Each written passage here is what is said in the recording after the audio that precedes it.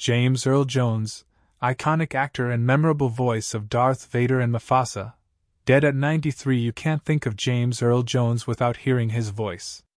That booming basso profundo, conveying instant dignity or menace, was Jones' signature instrument.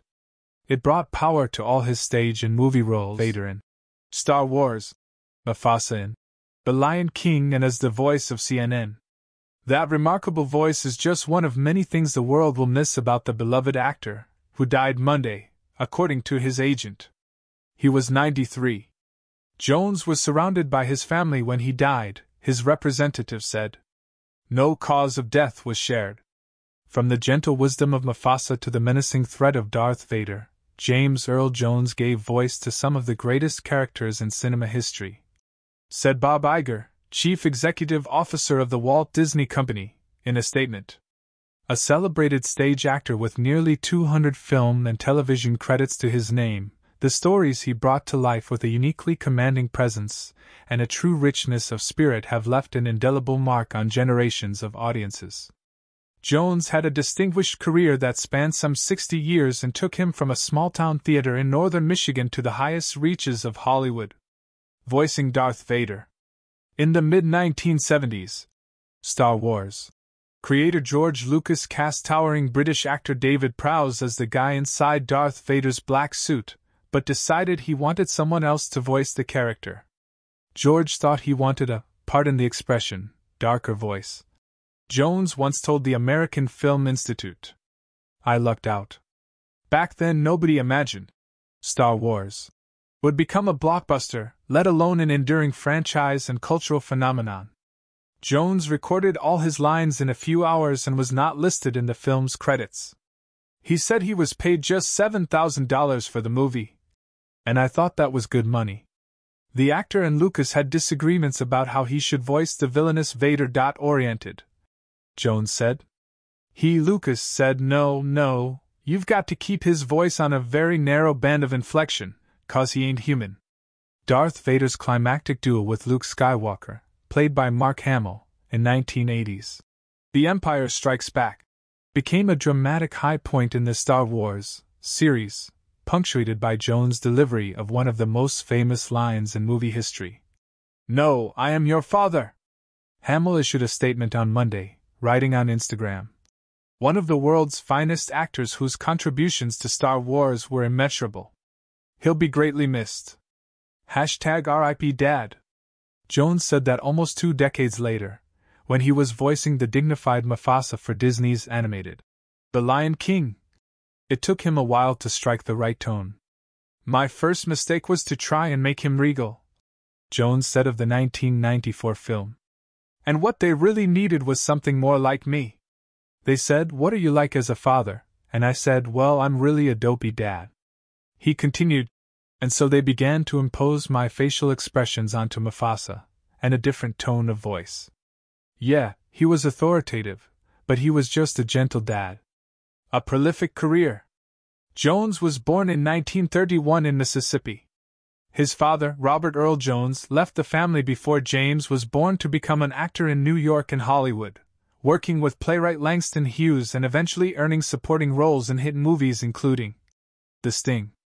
Jones' family moved from Mississippi to Michigan when he was five, a traumatic upheaval that caused him to develop a stutter. His fear of speaking rendered him almost mute until he got to high school, where a poetry teacher helped him overcome his disability by encouraging him to read his poems aloud. He began to challenge me, to nudge me toward speaking again, toward acknowledging and appreciating the beauty of words. Jones said that he made his film debut in 1964 as a bombardier in Stanley Kubrick's Doctor Strangelove. In 1967, Jones was cast as troubled boxer Jack Johnson in a theatrical production of The Great White Hope, a career changing role that won him a Tony. He reprised the role three years later in the film adaptation, becoming only the second African American man, after Sidney Poitier, to be nominated for an Academy Award. By the mid 1970s, Jones was working steadily in movies and TV, a prolific run that never slowed. Over the next five decades, he appeared in many memorable roles, as Alex Haley in TV's Roots, The Next Generations, Warlord Thulsa Doom in Conan the Barbarian. An African King in Coming to America. Kevin Costner's reluctant recruit in Field of Dreams. Admiral Greer in The Hunt for Red October and Patriot Games. And a South African preacher in Cry, the Beloved Country. On Monday, Costner recalled Jones' booming voice, quiet strength, and the kindness that he radiated. In a statement on Instagram, so much can be said about his legacy, so I'll just say how thankful I am that part of it includes Field of Dreams.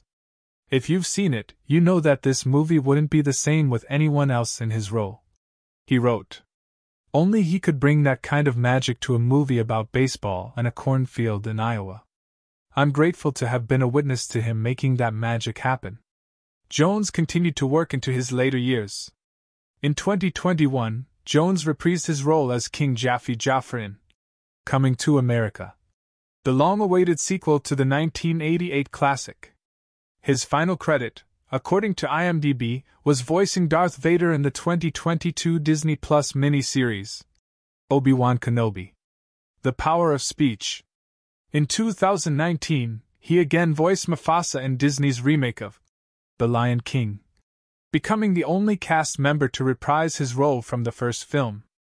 Over the years, he also guest starred in dozens of TV series from LA Law to Sesame Street appeared regularly on the stage and lent his deep, rumbling voice to everything from The Simpsons to a popular audio recording of the King James Version of the Bible. Jones said people in public sometimes didn't recognize him until they heard his voice. When you don't talk, it's like going ninja. He told Rachael Ray in 2016. You get in the taxi and say where you're going, and the guy turns around and says, Hey, aren't you that Darth Vader guy? He also lent his voice to CNN's tagline This is CNN. Complete with a dramatic pause after this. A CNN spokesperson said in a statement on Monday that Jones was the voice of CNN and our brand for many decades, uniquely conveying through speech instant authority, grace, and decorum. That remarkable voice is just one of many things the world will miss about James. The statement added over his long and prolific career, Jones won three Tonys, two Emmys, a Grammy, a Golden Globe, and numerous other awards. It wasn't acting. It was language. It was speech. He said when asked what aroused his passion for acting. It was the thing that I'd denied myself all those years as a boy. I now had a great, an abnormal, appreciation for it. And it was the idea that you can do a play, like a Shakespeare play, or any well written play, Arthur Miller, whatever, and say things you could never imagine saying, never imagine thinking in your own life. He told the Academy of Achievement in 1996. You could say these things. That's what it's still about, whether it's the movies or TV or what. That what it's still about.